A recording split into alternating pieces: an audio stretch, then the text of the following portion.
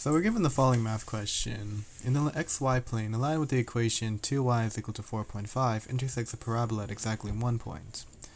If the parabola has an equation y is equal to negative 4x squared uh, plus bx, where b is a positive constant, what is the value of b? So you can rewrite this equation as y is equal to 2.25, and then you can leave the bottom equation as it is like y is equal to negative 4x squared plus bx. Since these are both equal to y, you can set these equations equal to each other, like 2.25 is equal to negative 4x squared plus bx.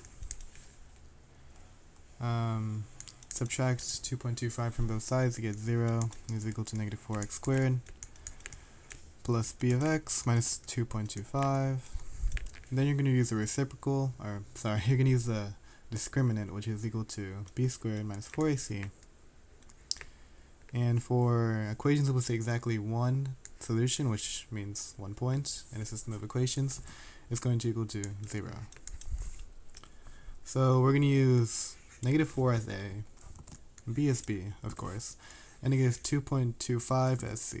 So that's going to be uh, b squared minus 4, negative 4, negative 2.25 is equal to 0. Which means that b squared is equal to this, which is equal to 36, which means that b is equal to 6.